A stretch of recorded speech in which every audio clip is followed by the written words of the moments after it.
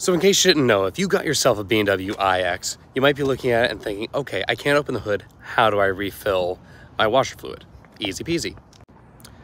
When you get the iX, BMW employs something called ShyTech, meaning since you can't open the hood itself, you're going to instead use BMW ShyTech by pressing BMW Roundel right here, opening it up, and here is your washer fill right here. And that's that. For any other BMW, including the i4, here's what you do. Jump down to the bottom down here, find your hood latch opener, and then one, two.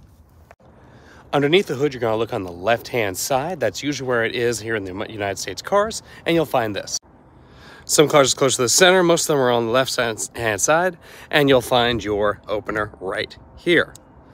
Pop that guy open, you can see down there, and you know exactly how far to fill up. And that's that.